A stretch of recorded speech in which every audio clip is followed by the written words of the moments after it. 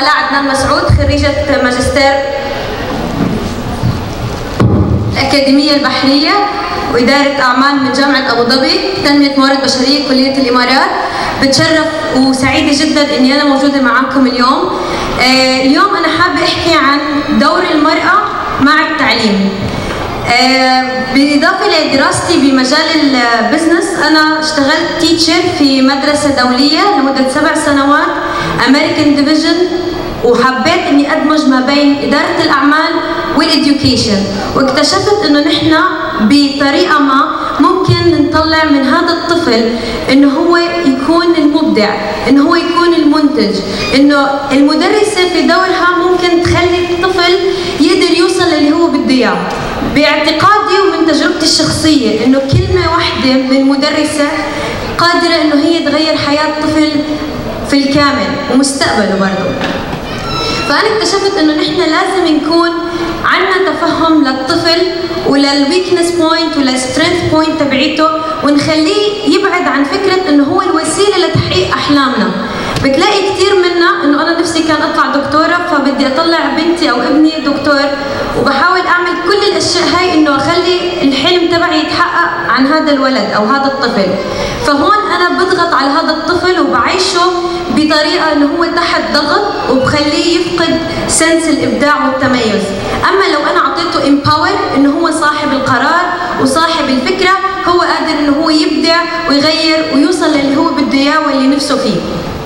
أنا بالنسبة لإنه أنا في ال business برضه درسنا theory X و theory Y إنه الموظف مثلا اللي بيكون تحت الرقابة هو اللي بينتج أكثر هو اللي بيشتغل أكثر أما ال theory Y انه الموظف بطبيعته بيحب الشغل.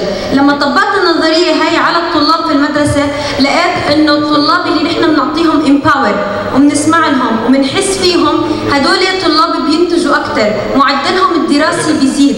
فهون اكتشفت إنه أنت كل ما بتخلي الطفل هذا أو الطالب يتميز باللي هو فيه بدون ما تقارنه وتحطه تحت ضغط مع اقربائه وزملائه في المدرسة وتحطه تحت ضغط إنه هو لو شاطر مثلا في ال math لازم يكون شاطر في ال science وفي ال chemistry والبيولوجي. لا هو لو شاطر في مادة فنحن ن highlight على هذا الموضوع ونطلع أحسن ما هو عنده فنقدر نوصله للي هو بده إياه. بدون ما نحطه تحت برضه مرة ثانية ضغط وبدون ما نهدده بدون ما نعنفه.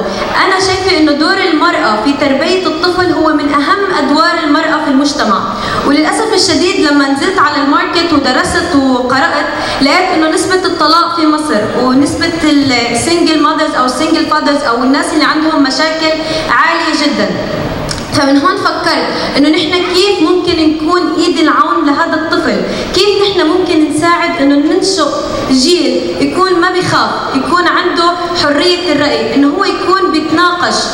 ما بيقضي 18 سنة من حياته عم يتعلم في المدرسة قراءة وكتابة ولغات وبالآخر يفتقر لأنه هو يتعامل مع الناس يكون عنده وجهة نظر يقولها. لا أنا فكرت إنه نحن ممكن ندعم هذا الطالب أو الطفل وندعم المرأة ونعطيها قوة ونخليها تكون هي البصيص الأمل اللي موجود للأجيال القادمة. نحن بدعمنا للمرأة وبدعمنا للطفل ممكن نوصل بمصر لأعلى وأقدم يعني المراحل ونخليها تكون المنافسة بين دول العالم.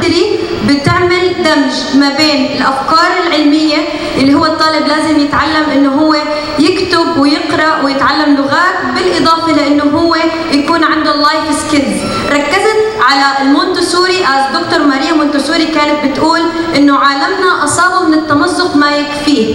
فلو استمر التعليم بنقل المعارف والمعلومات من جيل إلى جيل رح نقف يائسين وما رح نقدر نتطور ولا خطوة لقدام. فقررت إني أدمج ما بين المونتسوري وما بين ال international curriculums وما بين أكثر إنه نحن نقدر نوصل فيها للطفل ونساعد فيها الأم ونكون إيد العون.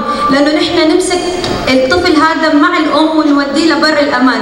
لنقدر نخليه يقدر يعيش مع ال globalization as we know all إنه نحن we are living in a very small village.